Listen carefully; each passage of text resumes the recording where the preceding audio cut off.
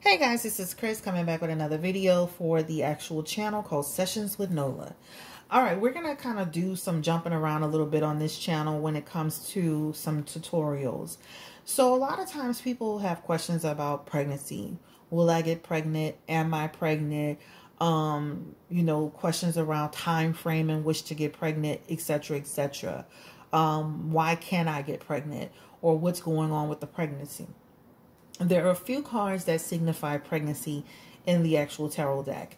The first card that signifies pregnancy is actually the Empress. All right. That is literally the card of fertility, the card of nurturing. If you see it in the upright position, that is positive to me. That's like, okay, babies, babies in your cards, right? Uh, you, it looks like things will be well. However, if you see it in a reverse position, that talks about there may be some fertility issues, a block, right? Um, maybe a pregnancy that was missed, a pregnancy where you got pregnant and then the baby no longer had a heartbeat. So you would see it there. People having challenges even getting pregnant, right? In reverse. All right. So that is the Empress. The next card of the fertility, I mean, of pregnancy, of course, is the Sun card. Baby's right there. Um, and the Sun card represents, of course, uh, you know, a positive. So when somebody says, you know, am I pregnant? You can use the sun card to say, why, yes, because the sun card indicates positivity or success. Or if somebody says, will I have success in getting pregnant? If it's in an upright position, you can say, why, yes, right? Somebody may say, well, am I pregnant? If it's in reverse, you can always read that as a negative, right? You can read a negative as that is a negative. So that is the sun card. The next card that I would say that I use a lot to do pregnancy cards is the Page of Cups. Hmm, that is a really good one too. The Page of Cups is actually news of a birth. So somebody, you know, pregnant. Well, it's, you know, so I thought, you know, looks like Nicki Minaj was pregnant.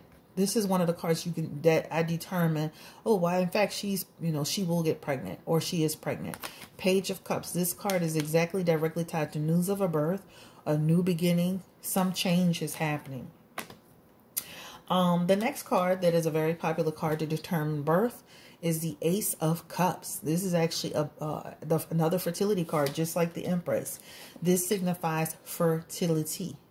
Now, this could also, you know, in an upright position, it talks about, yeah, positive for pregnancy.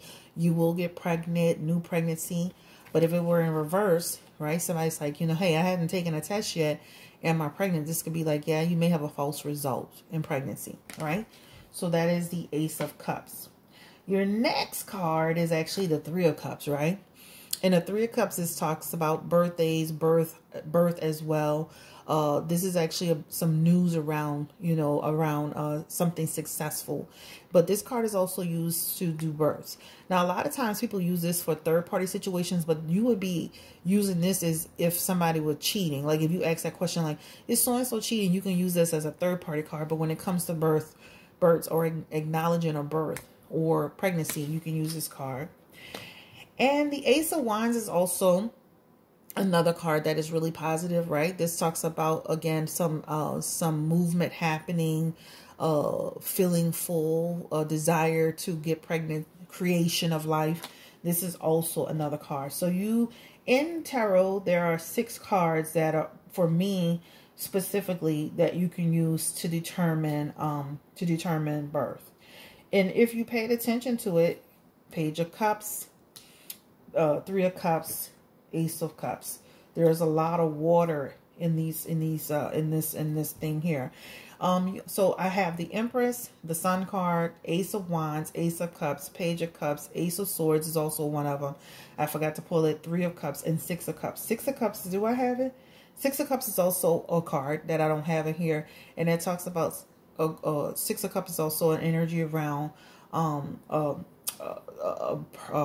becoming a parent or uh, uh, bringing in life. So you can use those cards to actually determine actual birth. So if you wanted to know that. Now, say, for example, somebody says, um, you know, will I get pregnant? I'm having, uh, will I get pregnant? I haven't been pregnant yet. We've been trying. And they have, for example, um, the, the, the, the Empress in reverse. But they had the Sun card right next to it. I would say, you know, to, to someone, it looks like you'll have a, a, pregnancy with some challenges, right? Because remember, the Emperor's in reverse is uh, fertility issues.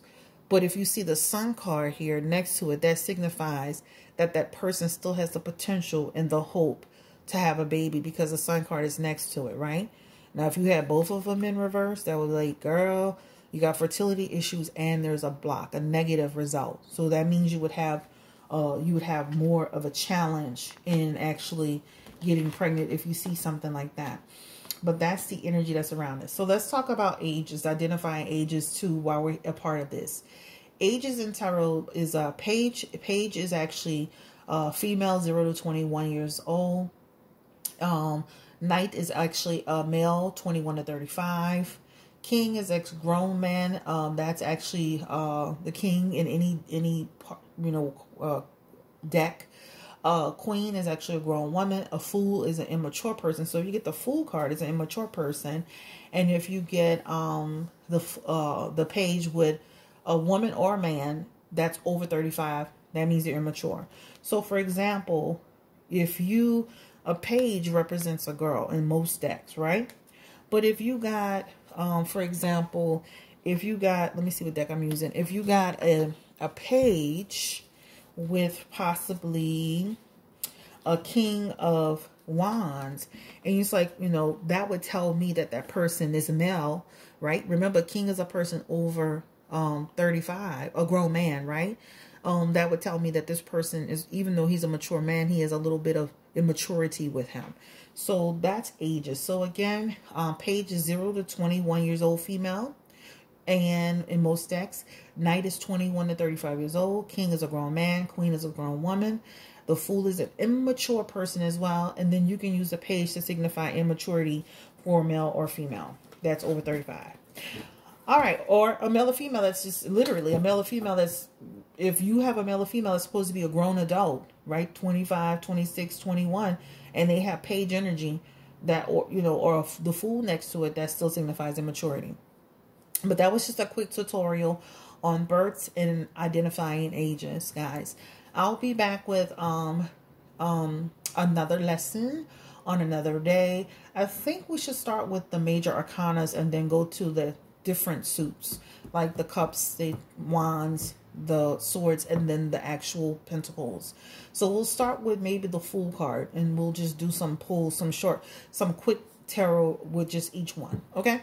Have a great day. Take care. Bye-bye. Thanks for coming through.